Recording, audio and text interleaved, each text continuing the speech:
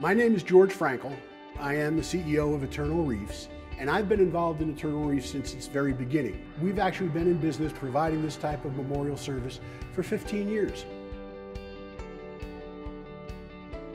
The families and individuals that choose an Eternal Reef, they're choosing it because they really are wanting to leave a permanent living legacy behind, something that will benefit future generations and make a really meaningful contribution to the environment right now.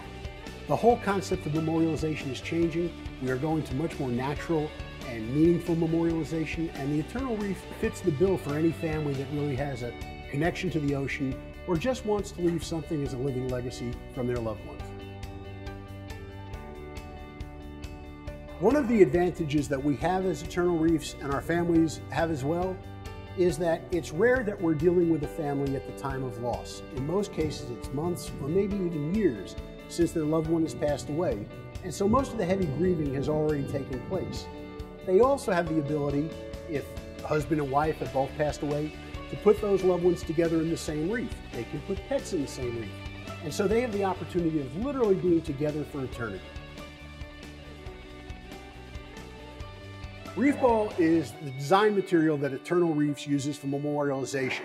It's the only material that was designed from day one to replicate natural substrata that Mother Nature works with to create reefs. If you think in terms of a wiffle ball, they're round, they're hollow, and they're vented. That's largely the design of a reef ball.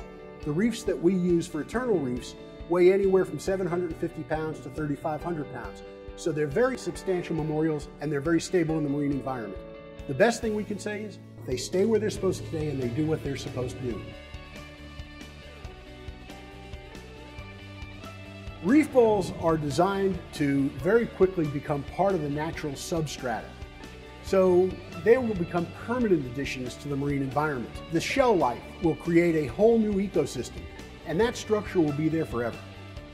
The Eternal Reef provides a permanent living legacy to the family member who's being memorialized, and it really makes a significant contribution to future generations and to the health of the ocean.